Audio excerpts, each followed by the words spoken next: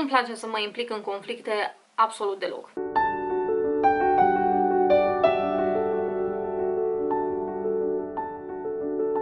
Și pentru că nu-mi place să mă implic în uh, conflicte, încerc să le evit de foarte multe ori. Acolo unde văd că există potențial de ceartă, de râcă, de uh, ieșit scântei și așa mai departe, încerc pe cât posibil să evit treaba asta.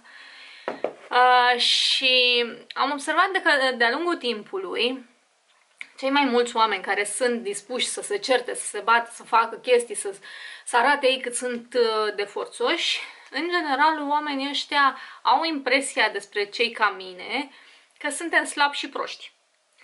Ceea ce mi se pare aiure. Uh, pe de o parte, este un lucru în avantajul nostru, pentru că noi ne consumăm mult mai puțină energie cu asemenea personaje și putem să trecem peste, pe când ei rămân îngrenați în conflictul ăla și încearcă să demonstreze că au dreptate.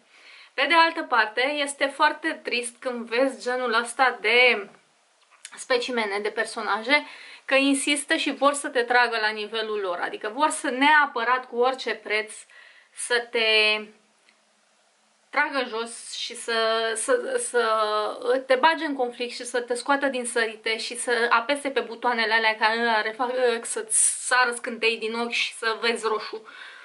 Și lecția în sine care este? Că este mai bine chiar dacă în ochii multora poți părea prost, este mai bine să nu-i bagi în seamă, pentru că pentru liniștea ta mentală și pentru sănătatea ta efectiv este mai bine să nu te implici în conflictele astea și mi s-a întâmplat de multe ori să le zic oamenilor, tu ai impresia că dacă nu ripostez, înseamnă că n-am ce zice sau înseamnă că sunt atât de proastă încât n-aș putea să întorc și eu lucrurile, doar că aleg să nu răspund cu aceeași monedă și să tratez lucrurile altfel. Ah, și știu că cei mai mulți oameni se feresc de treaba asta, se, uh, le este frică de treaba asta, adică îi aud des ideea asta că da ce, mă crede proastă, dacă nu zic nimic mă crede proastă, trebuie să zic uh, și eu ceva înapoi, trebuie să răspund și eu cumva, pentru că altfel mă crede proastă. Și mi se pare așa o pierdere de timp și o pierdere de energie și de resurse, în loc să-ți vezi de treabă, dacă poți evita un conflict, dacă poți să nu te bagi în mocirlă, dacă, nu să, dacă poți să eviți toate lucrurile astea, de ce să insiști, de ce să te duci acolo, știți?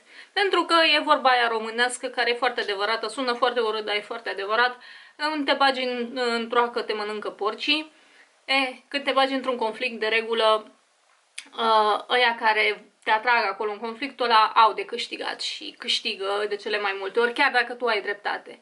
Cred că cel mai bine este să uh, uh, îți vezi de ale tale. Cel mai bine este să eviți conflictele. Bine, asta nu înseamnă că trebuie să fii preșul tuturor, dar în, în egală măsură acolo unde se pot evita conflictele, unde vezi că nu are sens discuția, adică cine are dreptate, cine e cel mai deștept, cine e cel mai bogat, cine e cel mai... Sunt chestii care n-au nicio bază, nicio... Sunt niște chestii atât de lipsite de importanță încât n-are sens să te bagi în ele. Și așa îți este și mai ușor să triezi oamenii din jurul tău, pentru că îți dai seama că oamenii ăștia nu merită efortul, nu merită atenția ta, nu merită uh, uh, implicarea ta în orice, da? Așa că cel mai bine stai deoparte și îți vezi de ale tale. Bun, cam asta a fost pentru astăzi. Asta e lecția. Că, da, până la urmă s-a dovedit a fi sănătos să nu te bagi în conflicte. Pentru mine, cel puțin. Vă pup și ne vedem în următorul clip.